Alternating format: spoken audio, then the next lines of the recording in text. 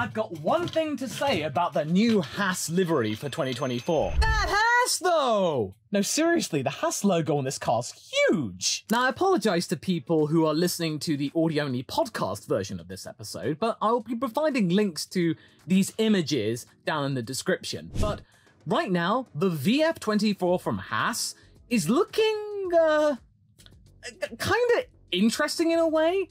I'll tell you one thing for sure, is that the black and the composition and the way it's distributed is a little bit cleaner from what I have seen. I've got images of it up right here. So my open, honest reaction from what I've seen thus far, it just seems very, uh, it seems very clean. There's a lot more black, that's for sure.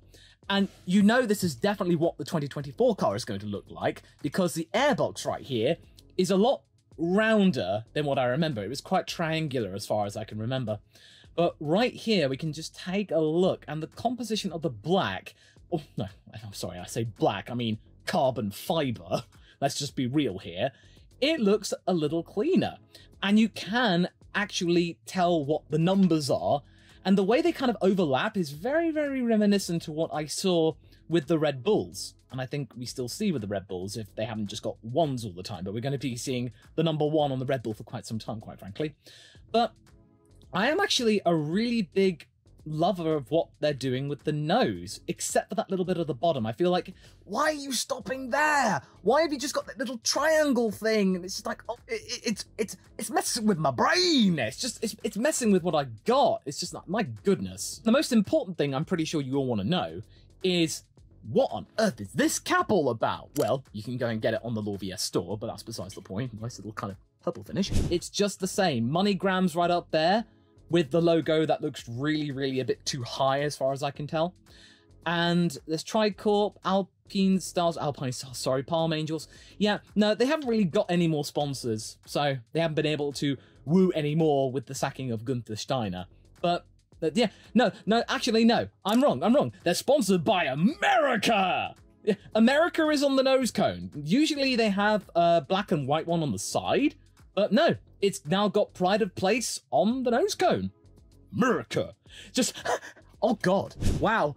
I wonder if this is a reaction to all the Andretti news to remind people we're an American team that gets chassis from an Italian maker and our bases in Maranello and Oxfordshire in the UK. Um, we have a desk in uh, Kannapolis. So this is very, very obviously something to do with reminding people that, hey, you already have an American team, so don't worry about that stuff. But I cannot get over this this Haas logo. My god, it's huge. Like it's so huge that if you look at the side profile right here, it's just it's like hub. It looks like a hub. You can't even see the S at the side with the sculpted side pods, which are so trying to copy what I can see from Aston Martin and Red Bull.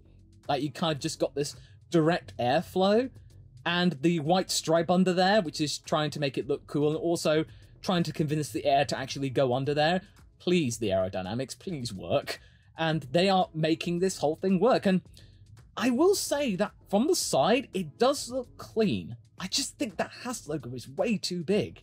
And that MoneyGram logo could just be brought down just a teensy little bit more. I think it seems a lot cleaner than the 2023 livery. I'm not hating this, but they are clearly trying to save some weight here. But overall, I think this is a little bit more of an improvement, but that Haas though. That Haas. My goodness. But I am not disliking this livery at all. And you can sort of tell there has been some development with the airbox and the rear wing and the engine cover, so they have made some improvements there. And I'm not really seeing much in terms of the side pods. They are very similar to the Ferrari side pods, which makes a lot of sense because they're obviously following some of the stuff from Ferrari. But it might give you some clues as to what the Ferrari car might look like, since Haas is basically getting into bed with Ferrari even more now.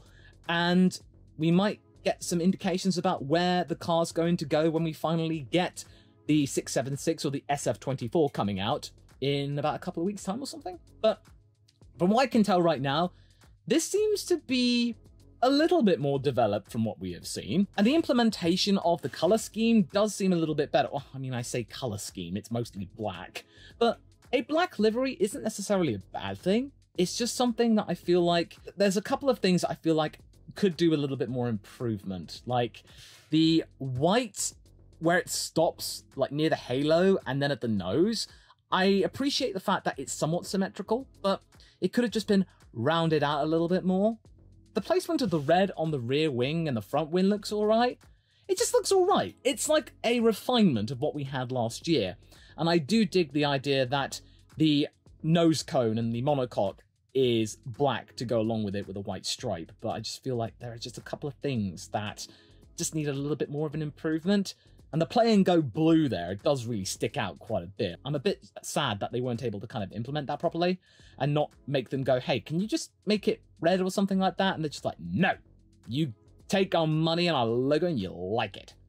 But I'm not disliking this. This looks like it, it's a little bit more of a developed car, especially those strakes on the front wing, that they're actually doing something with it. But I feel like this could be an interesting car. I don't know about the speed or anything, but there is some influence coming from different teams, which I do like the look of, so interesting times. So that's my little reactionette when it comes to situations like this. Do be sure to subscribe to get more of these livery reveals as they drop, and food for thought for you before you leave. Go and watch this video next to get an idea about all the hubbub that's going around with uh, the big guy going to the likes of Ferrari, and who could replace him at Mercedes.